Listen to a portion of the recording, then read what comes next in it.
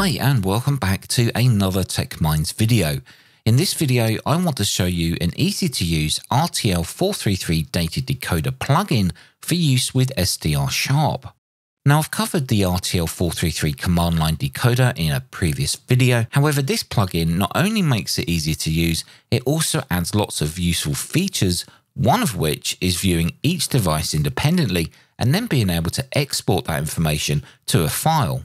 So for those of you that don't know what the heck I'm talking about, let me quickly explain. So if you're an SDR user and you've been scanning the bands and come across little data bursts around 434 megahertz, then this is the software which will decode these into something meaningful and readable.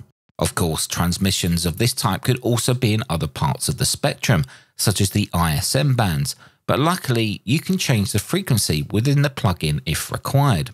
Now, personally, I only found activity around 434 MHz, so that's where I'll be showing in this video. Now, RTL433 supports over 200 different device protocols. These range from car fobs, weather stations, oil tank depth monitors, and even tyre pressure sensors, which are fitted to the wheels of a car. So what we're looking at here is on the top left, we have SDR Sharp running with the RTL433 plugin also running. The top right window is a DOS style window which shows a debug output. This is especially useful to make sure there's actual activity going on. This plugin is able to output decoded packets to one area at a time. So for example, in the bottom left, we see a device list along with its decoded data. On the bottom right, we see a graph output, which shows a visual representation of the decoded packet. Now just above this, we have a couple of message windows, which are messages coming from a specific device. Now be wary, this could actually provide lots of different windows popping up over the screen. I'll show you what that looks like a bit later, especially if you live in a dense area where there's lots of activity. Now you choose which output RTL433 plugin should use by selecting it on the RTL433 plugin. Now installing this plugin is very easy, especially with the latest version of SDR Sharp. Simply head to the RTL433 plugin GitHub page and download it by selecting the green code button and download a zip. I'll leave a link down in the description below. Now once downloaded, uncompress the zip file. Just navigate inside and you should be able to find the latest versions of the DLL files. Now you'll need to copy those three DLL files over to the installation directory of SDR Sharp. So navigate to the plugins folder within SDR Sharp and create a new folder. Let's say DLL underscore 433. Now go back to the DLL files that you just downloaded and copy them into the newly created folder. And that's it. With the latest versions of SDR Sharp, there's no need to edit a plugin's XML file. You can now start SDR Sharp and enable the plugin from the left plugin selection menu on SDR Sharp. Now to get started, make sure the plugin is enabled and then go through some of the available options and set them as required. The frequency selection area allows you to change the frequency the plugin uses, either by using one of the pre-programmed frequencies or selecting free and choosing your own.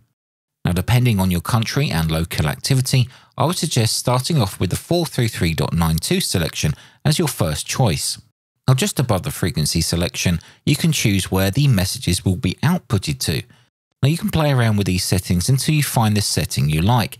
However, the list messages option will open a new window for each device it decodes. This means you can export a specific device's data that's been captured over a period of time, which is quite useful if you're monitoring a weather station, for example, or maybe your oil level tank sensor. So here is an example of the plugin running for quite some time and as you can see there's lots of message windows.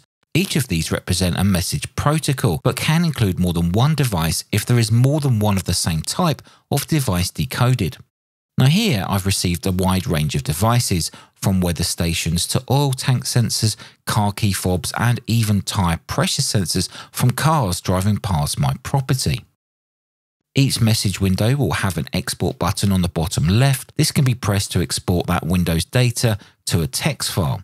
Now, the data contained is tab delimited, which means you can easily load it into an application such as Excel or OpenOffice.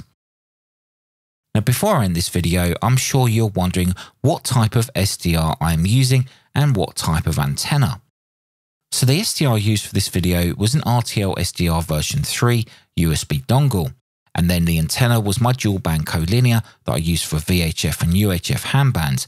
Now that is located on my chimney, so it's nice and high in the air. Now I'll leave a link in the description for my Amazon storefronts where you can buy a suitable SDR or antenna. Of course, the antenna will need to cover the band which you select in the plugin. Well, there we go, guys. That's an overview of the RTL433 plugin for use with SDR Sharp. Now, if any of you have used this plugin or even the DOS-based version, then please let me know if you've had any success with frequencies other than 434 MHz. I'll be quite interested to know what type of devices you were able to receive on other frequencies. I'd also like to say massive thanks to my patrons and YouTube members for obviously supporting this channel, which makes it possible for me to continue bringing you cool content. Until the next video, take care, stay safe, thanks for watching, and I'll see you in the next one.